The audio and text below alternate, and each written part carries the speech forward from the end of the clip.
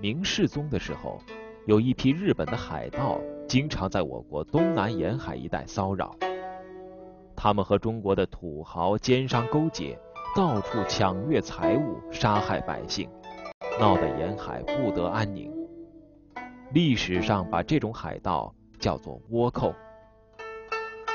当时沿海的官吏和士兵缺乏统一的指挥，军纪涣散，不敢抵抗，见了倭寇就逃。倭寇侵略越来越严重，朝廷只好把山东的将领戚继光调到浙江。戚继光率领他的戚家军英勇抗战，所向披靡，逐渐扭转了这种被动的局面。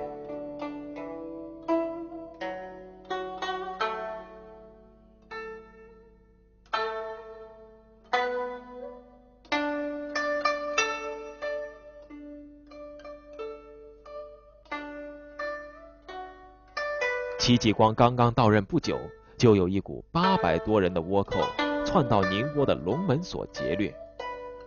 戚继光知道后，马上率军围剿。他冲锋陷阵，挽弓搭箭，只听“嗖”的一声，领头冲杀的一个倭寇头目应声倒地。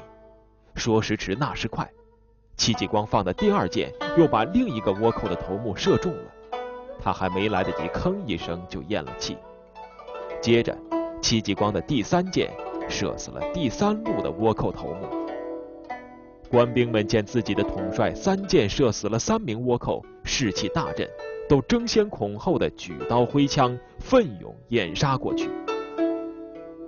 这一仗，戚继光率领的官军大获全胜，坚定了沿海军民战胜倭寇的信心。人们纷纷称赞这位年轻的将军有勇有谋。浙江人民把平定倭寇的希望寄托在了他的身上。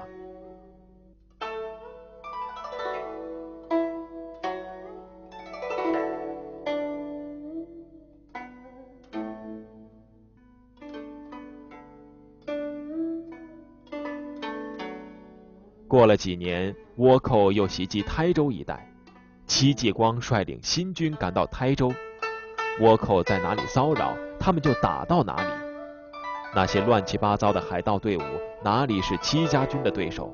交锋了九次，戚家军一次次都取得了胜利。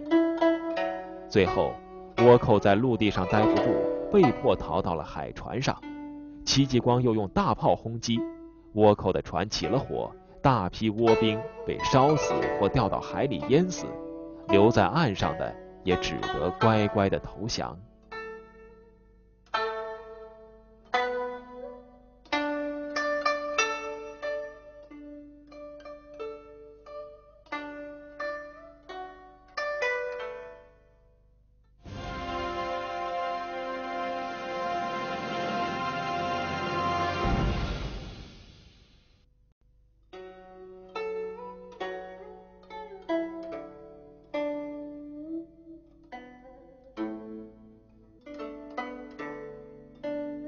倭寇见到浙江防守严密，不敢再来侵犯。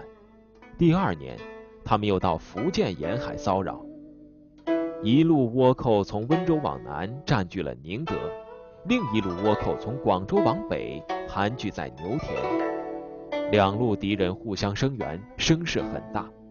福州的守将抵挡不了，向朝廷告急。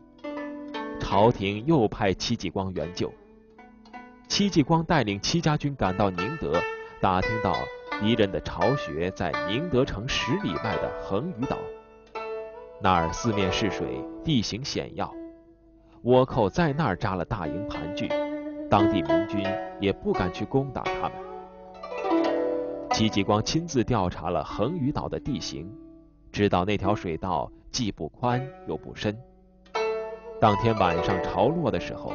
戚继光命令兵士每人随身带一捆干草，到了横屿对岸，把干草扔在水里，几千捆干草扔在一起，居然铺出了一条路来。戚家军的兵士踏着干草铺成的路，神不知鬼不觉地插进了倭寇大营。经过一场激烈的战斗，盘踞在岛上的两千多倭寇全部被歼灭。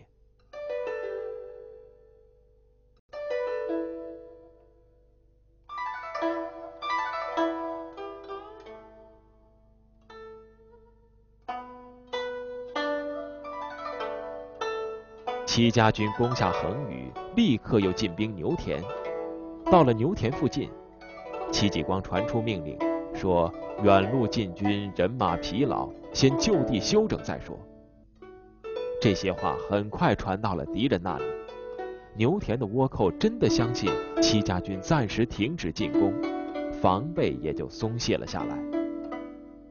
就在当天的晚上，戚继光下令向牛田发起总攻击，倭兵毫无准备，仓促应战，禁不住戚家军猛攻猛冲，纷纷败退。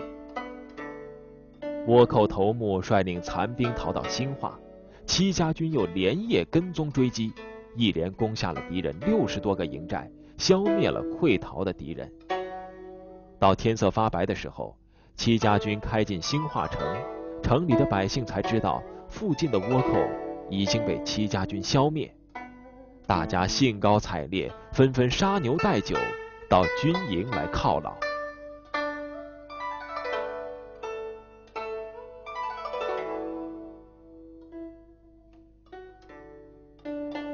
第二年，倭寇又侵犯福建，攻下兴化。这时候，朝廷派另一名抗倭名将于大猷为福建总兵，戚继光为副总兵。两个抗倭名将一起大败倭寇，收复兴化。公元一五六五年，于戚两军再次配合，大败倭寇。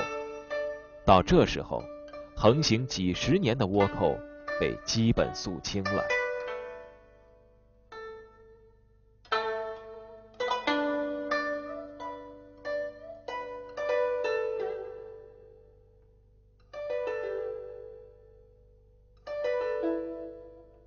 戚继光戎马一生，战功卓著。他注重练兵，尤善御将，严明军纪，赏罚分明。抗倭作战中。创立攻守兼备的鸳鸯阵，灵活巧妙地打击倭寇。镇守冀州，修城筑堡，分路设防，有力地抵御蒙古骑兵。戚继光率领的戚家军，从1559年开始就屡屡攻坚解围、迎战追击，而从未在战斗中被倭寇击溃。除了部队的素质以外，主帅戚继光卓越的指挥才能，也是决定胜利的关键因素。戚继光和他的戚家军为保卫国家和人民，建立了卓越的功勋，英名永垂青史。